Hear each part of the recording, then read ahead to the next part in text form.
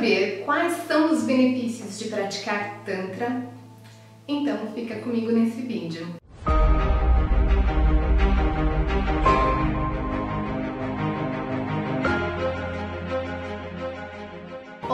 Eu sou a Samagra, seja bem-vindo ao canal. Aqui nós vamos falar sobre Tantra, relacionamento e sexualidade. E existem diversos benefícios em praticar Tantra. E quando eu falo praticar Tantra, entenda por práticas de meditações tântricas, massagem tântrica, sexo tântrico, autotoque tântrico. E todas essas práticas terão benefícios tanto sexuais quanto emocionais. O que, que essas práticas vão fazer? Elas vão ativar a sua energia Kundalini. O que, que é energia Kundalini? É energia sexual, que é energia vital, né? É uma energia que é capaz de gerar uma vida. Só que ela não precisa ser utilizada apenas para gerar uma vida né? Que é o que nós fazemos quando nós utilizamos essa energia, por exemplo, no sexo. Essa energia, ela pode ser utilizada para gerar mais vida na sua vida, né? Para aumentar a sua libido. E quando eu falo aumentar a libido, eu não estou falando só da libido da questão sexual, claro, pode ser também, mas libido de vida, energia de viver, vontade de viver. Né? Então, quando você faz práticas de Tantra, você começa a se conectar com essa potência, com essa energia e você começa a se sentir diferente. Por quê? Porque ao longo da nossa vida, a gente foi ó, calando a nossa potência e a gente foi se adaptando para poder pertencer. Então, muitas vezes a gente fala um sim quando o coração está dizendo não, a gente fala um não quando o coração está dizendo um sim, a gente vai se anestesiando para fazer parte, para pertencer, sejam por questões familiares, religiosas, de sociedade. Então a gente não vive a nossa verdade. E o Tantra, ele é esse convite para você se conectar com a sua potência, com a sua verdade. Você começa a sentir tão forte, tão intenso aquilo que você quer, que você não consegue mais fazer algo que não é a sua verdade só porque é socialmente certo, só para não parecer que você é egoísta, só para não parecer que você para parecer que você é a pessoa boazinha, sabe? Ai, tipo, muitas vezes, pra gente poder colocar limites, né? Pra gente poder ser a nossa verdade, a gente tem que falar algo que não vai agradar o outro. Porque agradar o outro o tempo todo é estar tá desconectado do que eu sinto e conectado com o sentir do outro, que agrada o outro. Daí eu vou me desconectando daquilo que eu sinto. E com a prática do Tantra, você começa a sentir muito intensamente o que você está realmente sentindo, mas não só você está sentindo, mas você está sentindo de uma forma diferente, com uma potência, se sentindo empoderado, empoderada. E isso é uma grande transformação, porque começa a te dar uma força, uma coragem para você se posicionar, para você falar o que é a sua verdade, né? E daí você vai se livrando desses julgamentos externos e internos e vai havendo uma revolução na sua vida, tá?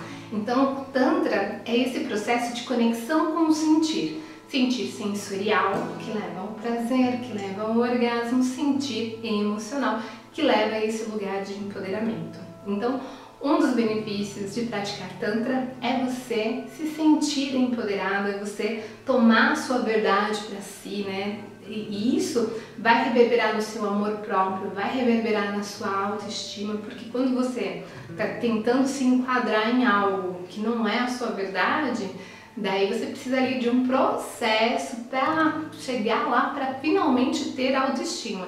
Quando você começa a se conectar com sua verdade, a autoestima chegou aqui agora, do jeito que você é. O amor próprio chegou do jeito que você é.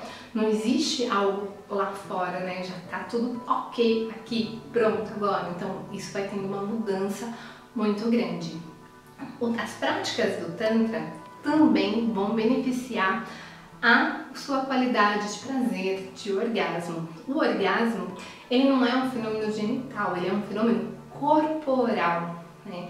Só que a gente associa que o, o, orgasmo ele é sexual porque a maioria das pessoas alcançam o orgasmo a partir dos estímulos genitais. Porém, é possível você alcançar o orgasmo através de uma meditação tântrica sem ninguém te tocando, sem nenhum pensamento erótico. Isso por quê? Porque o orgasmo é um fenômeno neuromuscular, músculos e nervos. E nós temos músculos e nervos no corpo todo. E para chegar ao orgasmo, existem outros caminhos que não apenas a região genital, né? Porém, também a região genital. Quando você combina a região genital, que é realmente o lugar onde acessamos um maior prazer, com todos os músculos e nervos do corpo, você acessa o que no Tantra nós chamamos de hiperorgasmo, que é um orgasmo de corpo todo, que se expande essa energia para o corpo todo. E você alcança esse orgasmo que se expande para o corpo todo.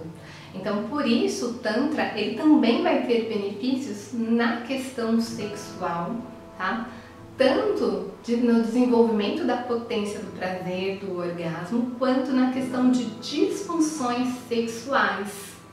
Então, geralmente essas questões de disfunções sexuais, elas podem ser tanto de ordem é, fisiológica quanto de ordem emocional esse processo de ativação da sua energia também é um processo de liberação das questões emocionais, porque o nosso corpo possui memórias e essas memórias elas ficam ali travadas no corpo e conforme essa energia vai fluindo, essas memórias vão sendo dissolvidas, né? Segundo Reich, ele chamava de couraças musculares, são essas memórias traumáticas que deixam o nosso corpo é, com uma certa tensão, mesmo que a gente não esteja mais passando por aquilo, mas aquela memória tá. Conforme a energia vai fluindo, essas couraças vão sendo dissolvidas, né? E nós vamos nos libertando dessas, desses traumas, desses bloqueios e ressignificando para um lugar de prazer, para um lugar de aceitação, para um lugar de acolhimento.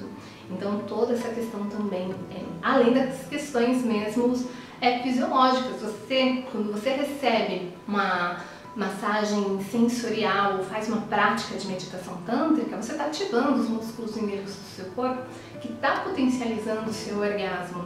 Quando você recebe uma massagem na sua região genital, pênis, clitóris, existe ali uma tonificação daquele, daquela região, né, do músculo, do pênis, do clitóris. Então você começa a ter respostas que vêm tanto desse processo corporal de tonificação, por exemplo, de ativação de energia e também de liberação desses bloqueios emocionais, que são essas memórias corporais. Onde que praticar Tantra não vai ter tantos benefícios quando a gente pensa em questões sexuais.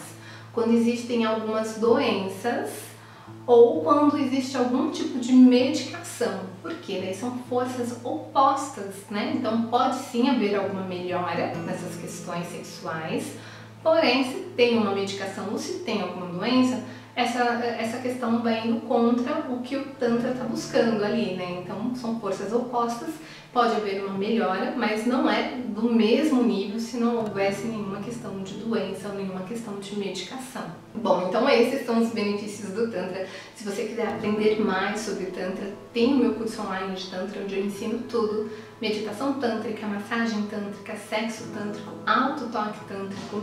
Eu vou deixar o link para o meu curso online aqui abaixo na descrição do vídeo. Se você tiver qualquer dúvida sobre tantra, relacionamento, sexualidade, deixe aqui abaixo nos comentários que eu vou adorar gravar um vídeo respondendo a sua questão. E se você gostou do vídeo, curte, compartilha, assina o canal para acompanhar os próximos vídeos, ativa o sininho para ser notificado sempre que subir um vídeo novo. Gratidão e até mais!